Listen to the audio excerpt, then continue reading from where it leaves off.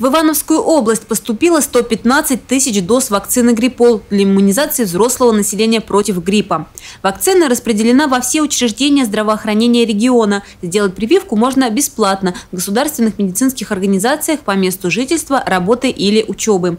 В первую очередь на вакцинацию приглашают жителей старше 60 лет, людей, имеющих хронические заболевания, работников сферы услуг, учреждений образования и здравоохранения, а также студентов.